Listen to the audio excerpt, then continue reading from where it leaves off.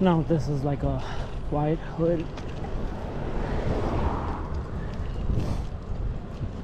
Older houses here on Pleasant Hill, and it's like the corner of Campbell City.